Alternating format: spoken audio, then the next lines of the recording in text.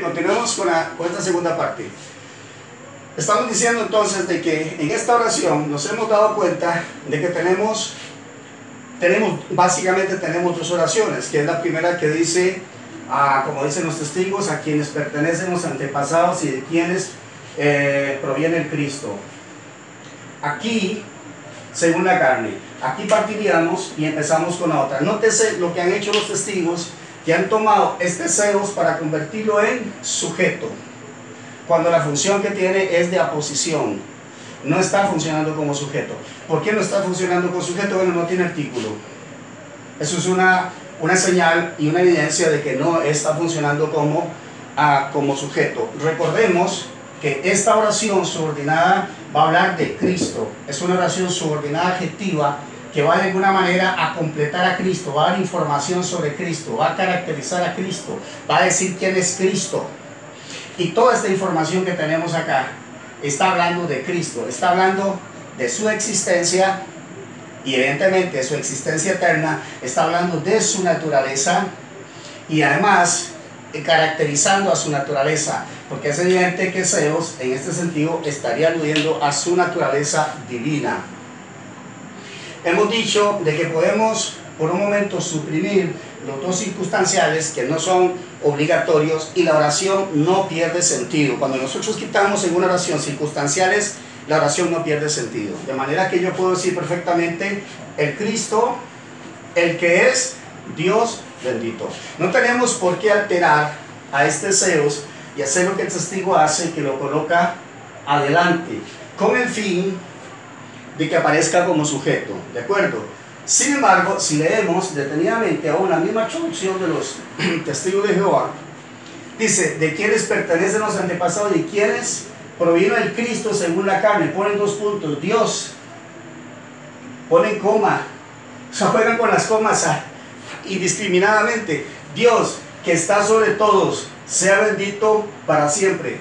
¿Cuál es la razón para que se agregue Dios sea bendito. ¿A qué se debe esa, esa alabanza a Dios? ¿Qué es lo que se ha dicho que pueda representar que a Dios se le tenga que dar alabanza? De que Cristo provino de los hombres, de que Cristo vino en la carne.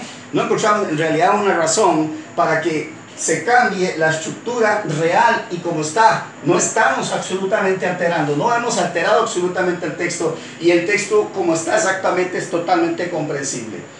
Entonces, cuando yo voy a analizar ya aparte este texto, yo voy a decir el Cristo, sujeto, el que es, está en la posición, estoy poniendo ho, ho Christos, no tengo espacio, ahora lo pongo aquí, ho, ho Christos. Entonces colocaría ho, ho on.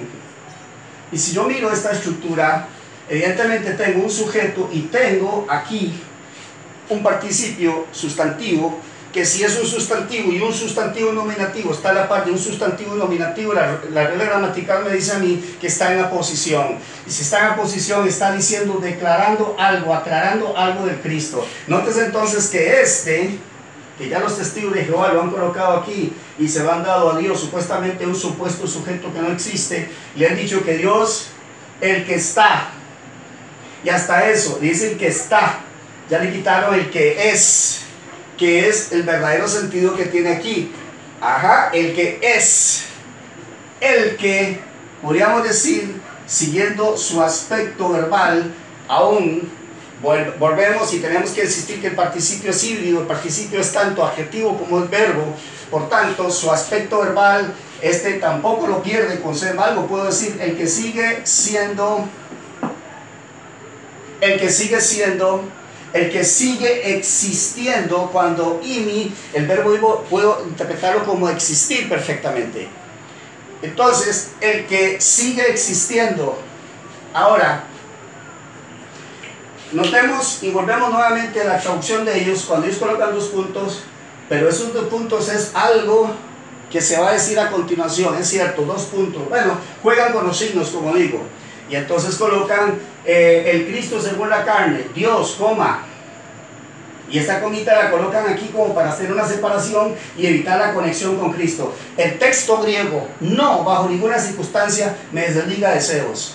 Esto es lo que el testigo ha hecho. Nótese aquí la forma arbitraria de, de traducir el texto. Dios que está sobre todos, haciendo según ellos alusión a que Dios es su sujeto y que se refiere al Jehová o al Padre que ellos entienden. De ninguna manera nos hemos dado cuenta que la función que tiene Zeus aquí es aposición y no sujeto. No tiene artículo. Y dentro de esa estructura, el sujeto, dentro, internamente, dentro de la subordinada, sería sujeto porque está en nominativo. Está en nominativo, si no es sujeto tendría que estar en aposición, lo cual no hay evidencia que esté en aposición, excepto en el caso que tenemos aquí, que podría ser aposición. En todo caso, es sujeto dentro de esta oración cumpliría entonces como posición, ya no sería sujeto. O sea, estoy diciendo, puede ser sujeto, pero en este caso nos inclinaríamos a que es aposición, aposición en la oración interna. De manera entonces que Ho-on está hablando de Cristo y Seos Ebroyitos está hablando de Cristo. No existe esta separación. Me parece que eso es todo lo que podemos agregar respecto a este pasaje que se ha discutido mucho y que bueno, se sigue insistiendo. Esta traducción, testigo de Jehová, es totalmente arbitraria cuando ellos dicen de que ellos traducen literalmente. No han traducido literalmente. Si hubieran traducido literalmente, hacen lo que hace el señor Francisco La Cueva. Vuelvo y con esto termino lo siguiente. Home, ¿cómo traduzco home? ¿De quiénes? Yo puse de quién, de quiénes, ¿ok? ¿De quiénes? Los patriarcas, aquí está, lo pone entre paréntesis que se suple el, verbo copulativo. Los patriarcas. Y, ¿qué? Y, ex de. ¿Quiénes? ¿De quiénes nuevamente? El Cristo. Aquí está el Cristo. Según la carne, según la carne. Que podemos traducirlo perfectamente como expliqué anteriormente, lo que es según la carne, en cuanto o de acuerdo a la carne. Es lo que proceden los padres pero en cuanto como Dios es divino, de naturaleza divina. De manera dice, el que es home on, el que es, no se ha alterado absolutamente nada, sobre todos, sobre todas las cosas que se suple por supuesto, Dios, bendito por los siglos, amén, ¿de acuerdo? Entonces, el testigo dice la siguiente, ¿a quiénes? ¿A quién de quiénes? Pertenecen los antepasados, los antepasados y eh, de quienes proviene el Cristo, perdón, y de quienes proviene Cristo, según la carne, lo agregan igual, según la carne. Ahora sí, Dios, ¿por qué colocaron este Dios aquí?